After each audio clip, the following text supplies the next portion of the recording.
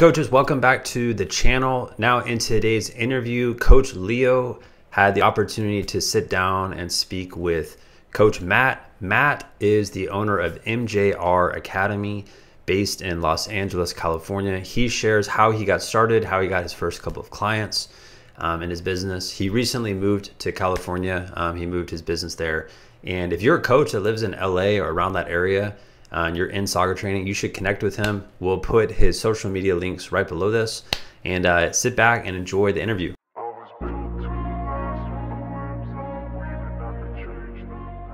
All right, cool. So, Matt, tell us a bit about your your coaching journey and how you got into business.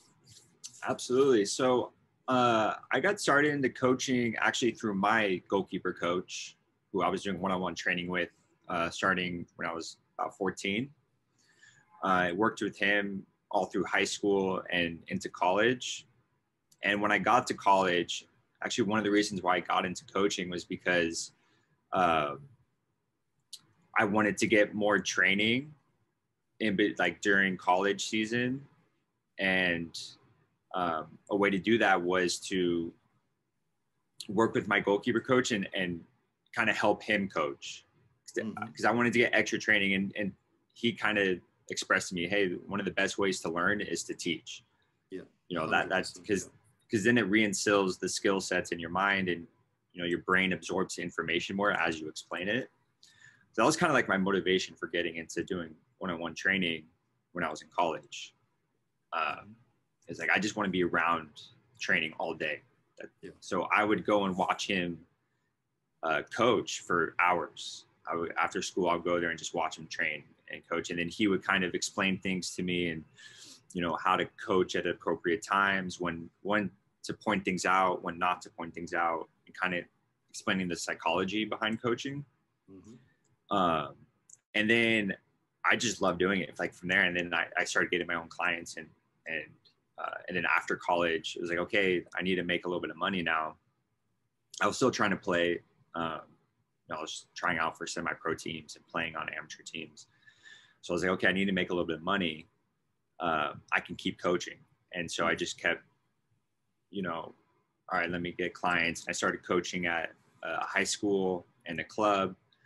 Uh, and it just kind of grew from there. And, and, and uh, it was, it was just something I knew I could always do on the side. It was like, I just love doing, I love being around the game.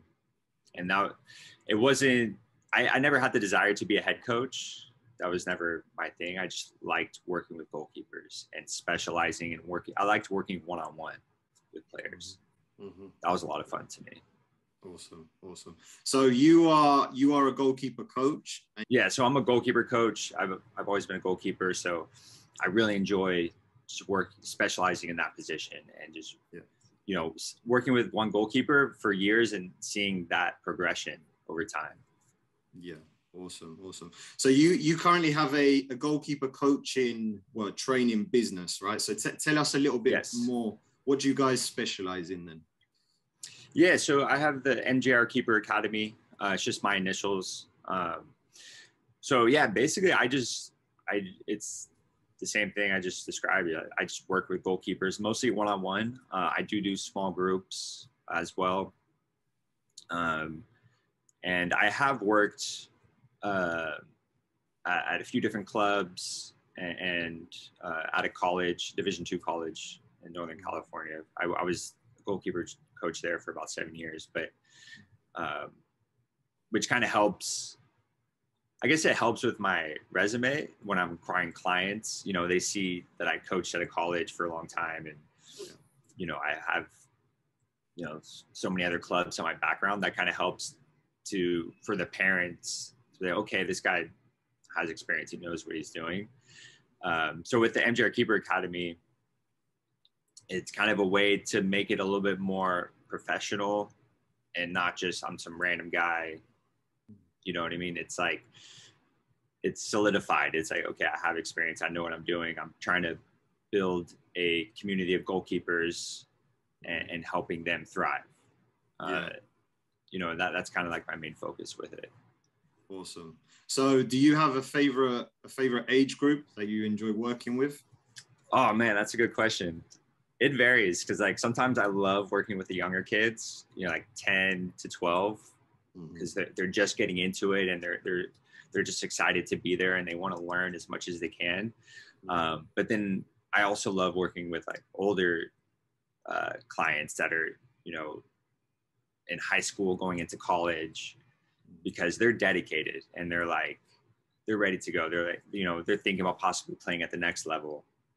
So I love going into the details a little bit more with them and kind of breaking things down on a really small scale. Uh, so yeah, it, it, varies. It, I don't know. I, I, like working with with both. Yeah, awesome, awesome. So, um, what what has been your your biggest obstacle since starting your goalkeeping training business? Um, that's a good question. Uh, honestly, being in Los Angeles, probably the most difficult is finding good field space uh, and finding fields that are available uh, when I need them. Uh, that can be really challenging mm. at times. And, and, so that takes a little bit of uh, planning on my part, you know, making sure the field is going to be available, it's decent grass, um, things like that. Just, you know, being organized mm-hmm. uh, to find because I just moved down here about five months ago, so I'm s- still finding all the little fields and spaces that I can use.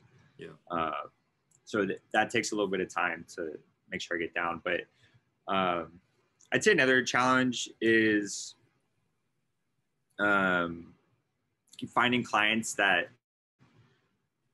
are, I guess, I don't know what the word to use, but I guess dedicated enough to like want to keep doing it. Because some of them just want to try it out and see if the, their kid is into it or not. They don't really know, mm-hmm. so they go they go into it kind of hesitant and just like, well, we're just going to test it out.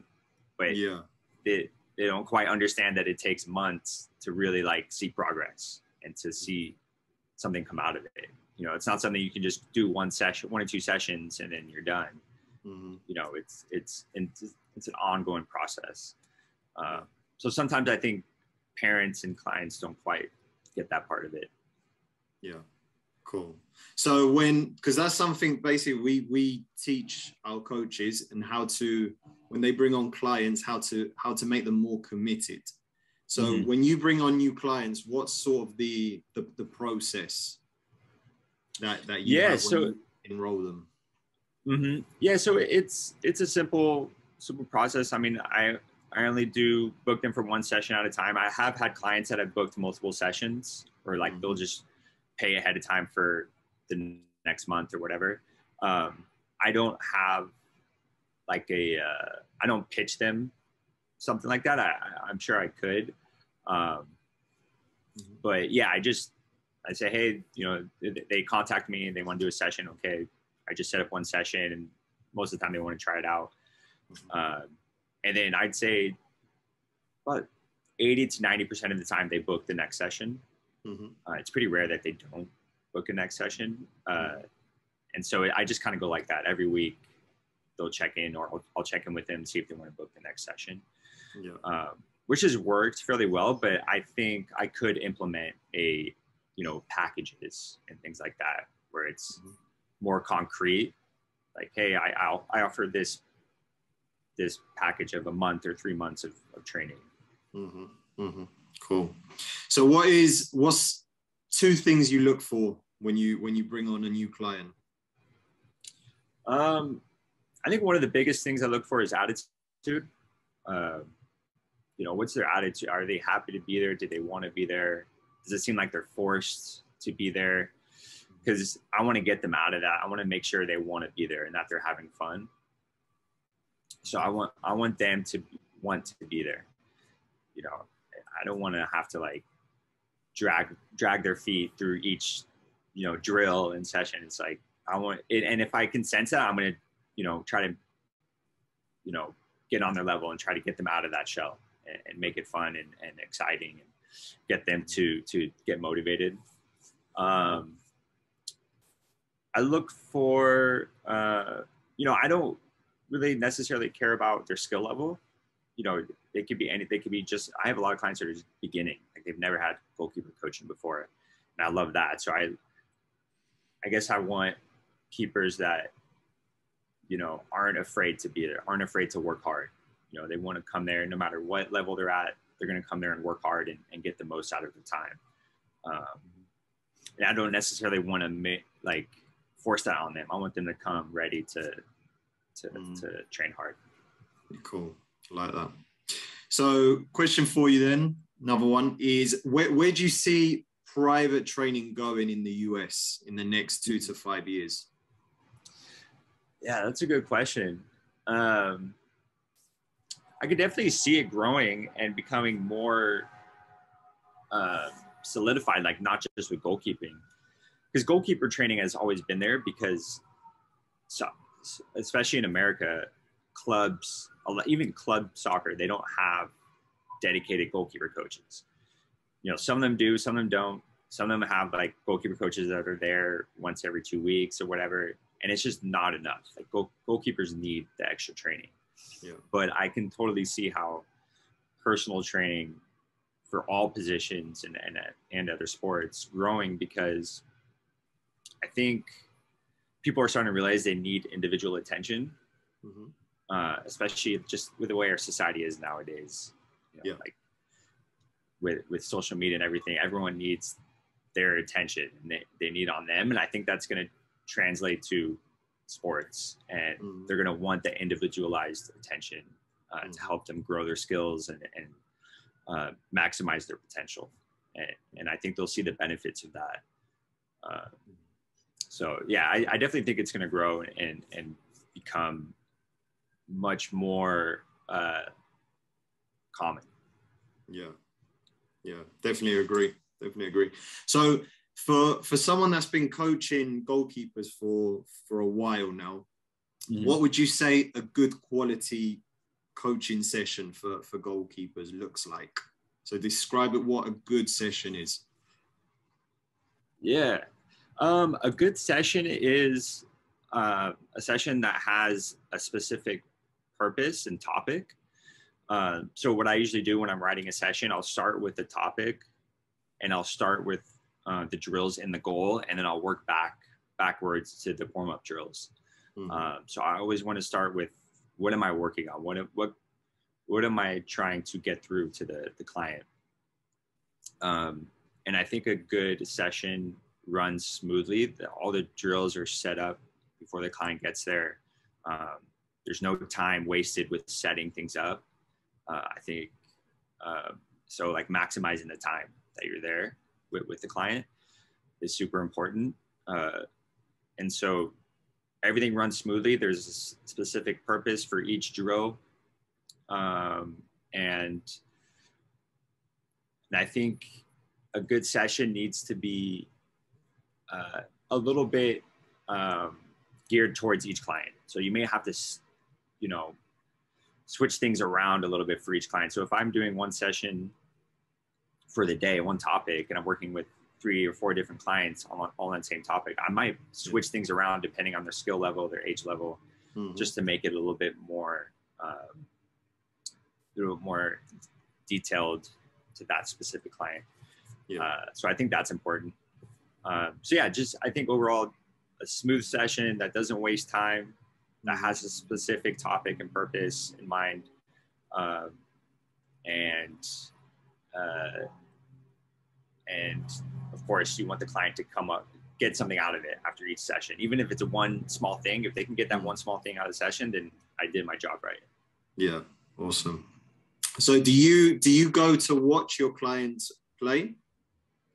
Uh, not usually.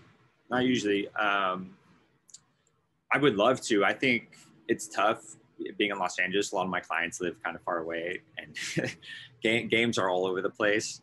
Um, but i'm definitely you know, if they wanted me to, I would definitely do it. Yeah. Um, would definitely definitely be interested in that. I used to do that more when I was coaching with like, call, obviously college and high school hmm. and and, and uh, club, where you're more inclined to go watch the games and, and yeah, kind of coach the keeper at the game. Mm-hmm. Um, yeah, I haven't done so much of that with my private clients. Yeah, Awesome. So, what what some of the coaches we do when when that we work with, they they go out to watch their clients play in matches. Now, this could be hmm. basketball, mm. it could be soccer. So, if you were mm. going to uh, to watch your clients play, mm. um, especially obviously you coach goalkeepers, what's what are three things you look for mm-hmm. when they're when uh, they're in a game situation? Yeah, so I definitely look at.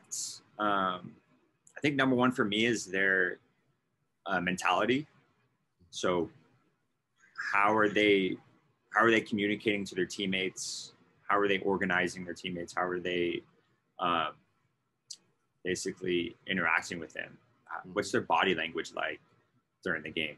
Mm-hmm. Uh, then I'm I'm looking for if they're implementing implementing implementing any of the techniques and tactics we we went through during the session. So are they, you know, are they setting properly? Are they setting at the right angles? Are they going out for high balls the way we talked about?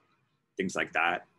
Um, and then I'm looking for uh, how they deal with failure.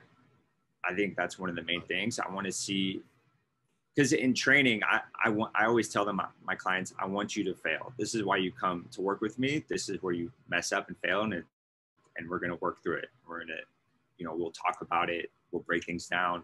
We'll understand why you failed in yeah. this instance. But in a game, you don't have that. You can't pause and, and talk about it and figure it out. So I want to see how they react to letting a goal go in, or they mm-hmm. they let a ball drop through their hands, or you know they just mess up. I want to see how they come back from that because mm-hmm. uh, I think that's a huge thing, especially for young goalkeepers. You know, if if they fail or they mess, they make a mistake and they their head goes down low and they they kind of just are are down and you know mentally they're out of the game now and they're not going to be able to. It's going to be really hard for them to get back in. Mm-hmm. So I want to make sure they their mentality is good after they make a mistake. Mm-hmm. So that, and if I see that, then I'm gonna take note of it and I'll talk to them at the next session about that. Cool. Excellent. I love, love that. Love that. So working with young players, what, what would you say in, in today's times is one thing that a lot of kids are lacking? Mm. Would, would you say it's the technical side of the game? Would you say it's the mental side? What's that one thing that kids need today? Um, I think both of those for sure. A lot of mm-hmm. kids don't have proper training and their their technique, and, their their coaches kind of their head coaches don't really give them any specific guidance. They're just like, "Hey, save the ball," you know. So that's yeah. that's the training they get. Uh, meant I think mentally is is a big thing. Um, so I I have a podcast that's just for goalkeepers that's just focused on the mental side of goalkeeping. Mm-hmm. I think that's super important. I always think kids need to work on that. But one thing that I think is kind of underrated, especially for American players, that I notice with most of my clients is they don't watch the game. You know, they they don't. I always ask my clients, so when when was the last soccer game you watched? Like, what do you watch MLS? Do you watch Premier League, La Liga? And most of them say no, I don't mm-hmm. watch soccer. Yeah. And I think I think that's something in today's day and age shouldn't be an answer because there's no excuse not to watch a game. You can go on YouTube anytime and watch highlights, or you can watch live mm. games from all over the world. Mm. So I really think today kids need to be watching more soccer. Uh, mm. And I know it's hard because American parents don't always watch soccer. You know, they don't have that on the TV. They're usually watching football or basketball or baseball. Yeah. Uh, but I think kids need to start taking more time to to study the game and, and, and watch it. Um, mm-hmm. So I always tell my clients like you need to be watching soccer at least once a week. You should be watching because that that's how we learn, right? And that's that, like yeah, going back to the beginning of why I started coaching it was because I wanted to learn by watching. I wanted to study other goalkeepers, mm-hmm. and and a way you can do that anytime is just at home on your tablet or your phone. You can be watching games. Um, yeah. So yeah, I, th- I think that's you know probably a lot of coaches wouldn't say that, but I think that's super important right now. And that could mm-hmm. that's for any sport, of course. You know, basketball, mm-hmm. football, baseball. You should be watching games and taking notes and, studying it. Yes, it's fun to watch; it's entertainment, but Mm-hmm. you can be trained. You can look at it as like training. Like, oh, I get a, I'm going to watch a soccer game, and that's my training for today. Yeah, yeah, hundred percent. Yeah, cool. So let me take you back, Matt. When you when you first started your your training business, then. Mhm. So tell it tell us a bit about how you how did you get your first client?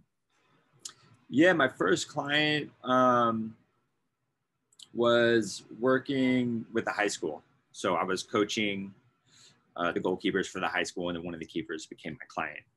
Um, and so, starting out, I think that's probably the best way to get clients uh, is to work with for for soccer specifically, to work with a club uh, or a high school, and that's kind of like your foot in the door to you know you're coaching them every week you see them all the time now you can say hey you know when when the season ends or something you can say hey if you want to keep training we can do that. We you know we can set up sessions. Um, uh, so yeah that's how i did it. Um, and then it can kind of grow from there you know definitely word of mouth helps a lot. You know that keeper will tell another keeper from their club team or or so on you know to other the other goalkeeper friends. Um, so yeah, that's that's how it went in the beginning. Awesome. And how how many goalkeepers are you currently working with at the moment? Right now, I'm only at about four because I just moved down here, so I'm still establishing myself in this area. Um, but I just started working with a club, so I'm sure I'll Mhm. be, be getting more more clients through that. You, you're going to be 10x in that very soon. Yeah, it, exactly, exactly. I know. I'm kind of worried about it. It's gonna be, it's gonna be busy. cool, awesome. So tell us tell us a bit about your your current sales process then. How how do you do you get new clients and what what is the sales process in your business? Yeah, so um, right now I'm getting clients actually uh, uh, through my website. I've been getting quite a few, um, which you know I didn't have a website before. I just built that like five months ago, four months ago when I moved down here. Hmm, Uh, that's definitely helped a lot. Uh, I, I was kind of surprised actually that I was Mhm. getting people contacting me through the website. Um, uh, so yeah, so right now they, they usually the sale process goes they they find my information either through word of mouth or or through our website, um, and then they contact me. So they'll usually email, and then I just uh, through the email I let them know what the the rate is per hour, where training locations are, uh, and what to expect during the sessions. mhm. Uh, so yeah, that's that's the sales process for the most part. Awesome. Awesome. And how, how do you market your business normally? Yeah, so um, I'm I'm on YouTube and uh, Instagram and Facebook, and then uh, I have a podcast that I put out that kind of helps with with getting people, um, you know, into into my world. Mhm. Uh, and then I also use CoachUp uh, as well. I'm not sure if you if you're familiar with that. yeah. Coach up. Yeah. Yeah. Yes. Yeah. So I have a profile in there. So I occasionally get get people contacting me through there. Um, and I think it being in Los Angeles, uh, you know, it's definitely helpful because there's so many people here, and so many people are are looking in different ways. So you kind of have to put your fingers in a lot of different pots Mhm. of trying to reach people. Um, but I, I would say probably the most effective uh, is working with a club or or high school, something like that. It's just Yeah. because you're face to face with them, they they get to know you. They you Mhm. build that trust and rapport with them over time, and then they become your client. Mhm. And then you know it's it's it's much easier to establish yourself with them through that if you're seeing them on a regular basis. Yeah, excellent. So with the with the with the four clients you currently have, uh, how long have they they been with you? Uh, two of them, they've been with me since probably since right when I moved down here. So about four months, five months. Okay, Um, and then a couple of them are new, newer from probably like two or three weeks ago. okay, awesome, cool. Yeah. So so what would you say to a co- a, a goalkeeper coach who who's coming across this video, watching, or even listening, Mhm. and they want to do what you're doing in the sense that they Mhm. want to start a, a a private training business, like what would be Yeah. a couple of bits of advice you would you would give to them? Yeah, I would honestly, I would. The first thing I would do is I would um, reach out to another goalkeeper coach who's, who's been doing it for a long time, and I would ask to just come watch his sessions and ask some questions and just kind of learn from him. So basically, kind of like finding a mentor Mhm. uh, who can help you walk through some things and um, help you, you know, walk walk you through how to set up sessions, um, how to find fields, how to get organized. I think that's really important. Uh, another thing is is having all of the necessary equipment. Uh, you know, i- if you're just starting out, you know, that might be a little bit, you know, of an investment because equipment can be expensive, uh, especially like in soccer. Like I have my own uh, net Mhm. that I can set up on grass anywhere, um, which is a bit expensive, but it was worth it for me to have. So I don't need to find a soccer field. I can train at a park with Mhm. good grass. I can set up my goal anywhere. And I think that's super vital. So you might have to make an investment in the beginning to, to get all the proper equipment. And of course, balls are, are expensive, you know, you know, you want to be properly set up. Um, Mhm. and then I would say to, to network and, and get, get in with some clubs, you know, s- start working with them, helping them out. Um, you know, things like that, like are going to help you a lot, which is, and just getting experience coaching, um, Mhm. just doing as much as you can. Work work with younger, like little kids, you know, ages Yeah. six to eight. You know, Mhm. learn how to deal with them. You know, what, what my goalkeeper coach always taught me was if you if if you can coach an eight year old, if you can explain to them goalkeeping and, and the tactics and skills, then you can coach professional. Because trying to get a six year old or eight year old to understand what you're talking about and get and get through to them is much Yeah. more difficult than trying to explain it to a 22 year old who who's playing professional. Yeah, So- be able to coach young kids you know that i think that's super important like you need to be able to work with them hundred because percent. that's going to help your your foundation for understanding the game because you need to break it down on such a like simple level hmm so you got to be able to explain everything to an eight year old Yeah, if they don't understand you then no one's going to understand you yeah, yeah. Hundred percent agree with that. I started working with. Uh, well, this was like seven years ago. The first time ever I started working with three to five year olds, and uh, at the time it was daunting. But a Right. lot of the skills I developed working with that age group, I've implemented now working with older kids, and it's really really helped. Uh, probably most importantly, patience.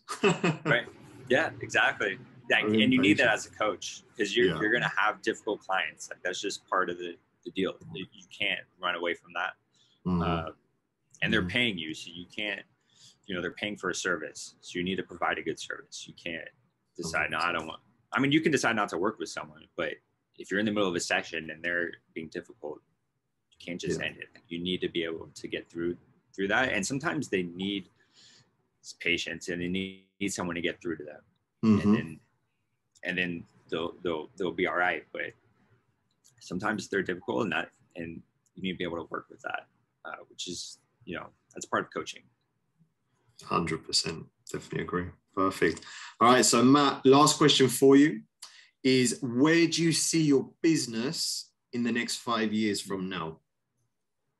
yeah i definitely see uh, adding more clients uh, building up that but I, I also see myself doing more uh, group trainings camps um, I see the business doing um, maybe more like some, some consulting, Mhm. um, working with clubs and just helping them build their, their goalkeeper program, um, creating, uh, you know, a, a goalkeeper um, kind of like manifesto or building like out a, a framework for how goalkeeping is going to work in the club.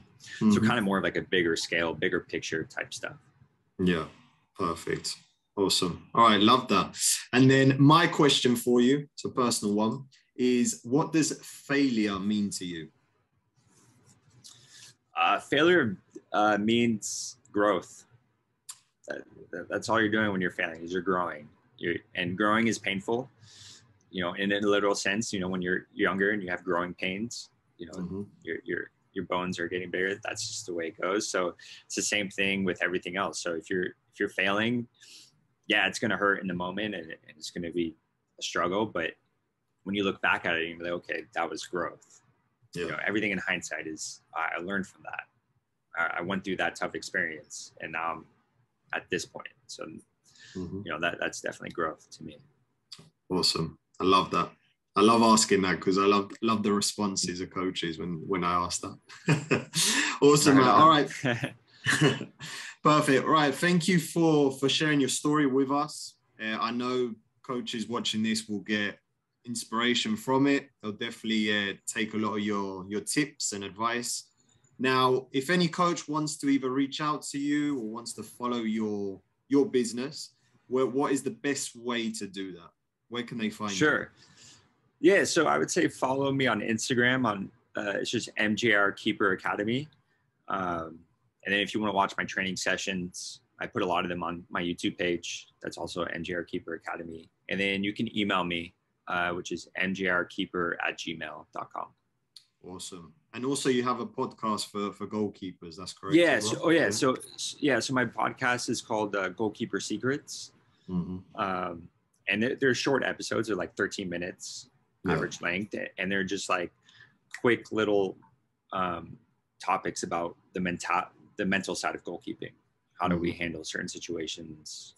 You know, everything. And, and I mean, really you could apply it to any sport, but I'm talking specifically to goalkeepers. Mm-hmm. Mm-hmm. Awesome. All right, perfect. Well, Matt, good luck with with everything uh, moving forward. Uh, wish you all the best, and hope to connect with you in the future. Awesome. Yeah, it sounds good. Thank you for having me on. I appreciate it.